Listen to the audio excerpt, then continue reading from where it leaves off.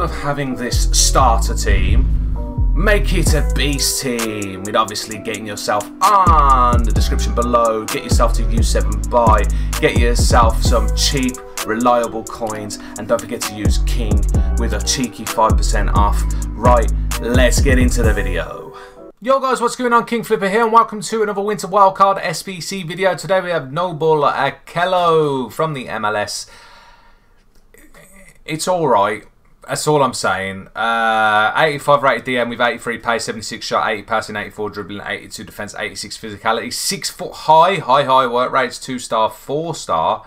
Can play DM or centre mid, uh, but then you look at his in-game stats, and it's another one of these type of in-game stats that should really be a centre back. Since we've had two in a row that are pretty similar, but hey ho, 78 acceleration with 87 sprint speed, 85 attack position, 70 finishing, 86 shot power, 80 long shots, terrible volleys, and 84 pens, 91 vision, decent, crossing and free kick accuracy are awful, 92 short passing and 91 long passing, very good, curve, naff, Agility and balance, not surprising, 6 foot 5, 73 agility, 65 balance, 80 reactions, 87 ball control dribbling, good, 83 composure, not bad, uh, 81 interception, 91 heading accuracy, doesn't surprise me at all, 82 defense awareness and standing tackle, 80 slide tackle, 78 jumping, 83 stamp, 93 strength, and 75 aggression. Uh, no bonuses because there's some cards do have these 99 pluses and upgrades and stuff like that. It's EA should have made this a min price SBC. It should have been 10k, but oh well. Um, before we get into it, FUTBIN Byte now price the time doing this SBC. It's been out for half an hour. Bids and will always be cheaper, but don't forget prices do fluctuate. It's out for two weeks. You can throw fodder in if you really wanted to do it, but it's just not really worth it if you're just using it for fodder. Um, you need 284 rated players or higher, or overall. That's the only thing I'd say is an L. The 83 rated team, I'd say yeah, it should be an 83 rated team. At the moment, your 83s are 1.2k each anyhow, so this would be more than 10k. But you've EA have decided to throw in two 84s as a requirement, so mm, well done EA. Uh, 11 players in squad. So yeah, um, the 284s and Deedly Dooley Handanovic, uh, two of the cheapest 84s. 383s and 682s is the way to go. It's the only way. It's the cheapest way you can do it at the moment, and because price of low rate fodder is inflated, this just card is just nowhere near worth it at the moment. So.